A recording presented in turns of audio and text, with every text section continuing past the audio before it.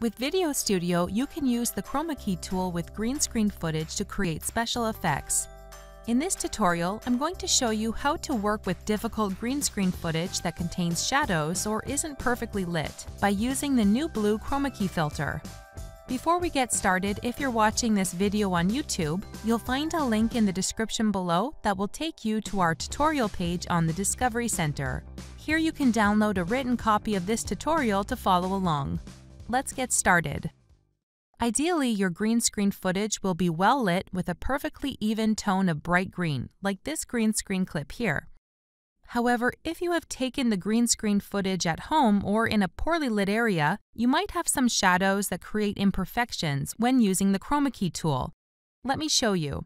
So I have my green screen footage and I'm going to drag this from the library panel to overlay track 1.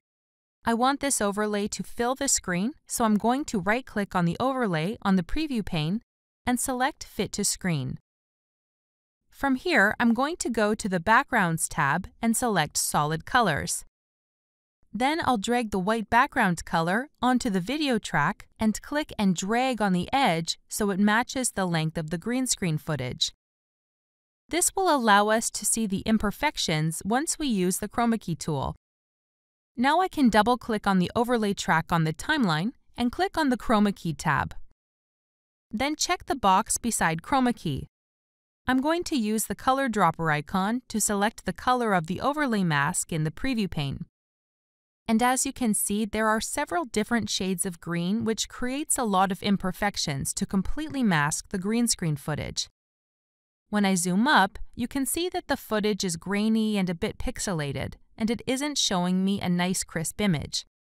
But luckily, we can use the NewBlue Chroma Key filter to fix this. First, let's uncheck Chroma Key. Then click on the Blending tab. And under Matte Modes, click on Mask Frame. Then scroll down and select the full screen white mask frame. Now go to the FX tab. And then select NewBlue Video Essentials 2 from the side menu. From here, drag the Chroma Key filter onto the green screen footage on Overlay Track 1. This should bring you to the Effect tab make sure to select Chroma Key from the Effect list and then go to Customize Filter. A pop-up box will appear. Deselect Use Keyframes so that our edits will be consistent throughout the clip. From here, click on the color dropper icon and select the background color of your green screen footage. Now, as you can see, the subject is blending with the background, and we want a clear contrast between the subject and background. The easiest way to do this is to select Show Mask. And what we want to see is a crisp black subject against a clear white background, which we don't yet have as you can see with this pixelated part here. Depending on the green screen footage you're working with, you'll either need to increase or decrease the sensitivity levels to create this contrast. This is something that you're going to have to play around with until you find the perfect level. I'm going to increase my sensitivity until I find the perfect level for my footage. And as you can now see, the subject is black and the background is completely white.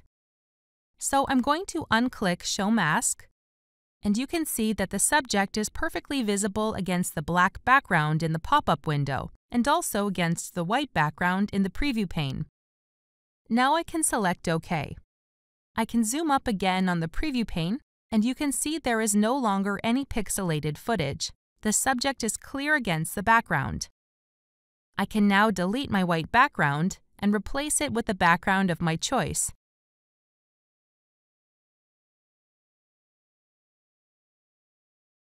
If you're not 100% happy with your results, you can always go back into the NewBlue Customize filter and adjust the soften or shrink settings to get rid of any faint green outline that you may have left around the subject.